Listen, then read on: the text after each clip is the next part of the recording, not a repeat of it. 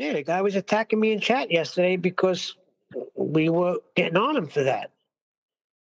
Okay, well, without protestation and without any further procrastination, and at no risk of demonetization, the ether sensation is the manifestation of the vibration when viewing libration and a perturbation in the variation of a background radiation when we view illumination. There is no postulation in my verbal masturbation because perception of the visualization of light emanation in a rotation toroidation of magnetation through vacuum evacuation shows their maxwellization propagation with a motion demonstration phase quantization via quantum induction validation, where we view the Michelson-Morley experimentation showing consistent variation in the direction when illumination went on vacation at elevation in atmospheric stratification by interpretation.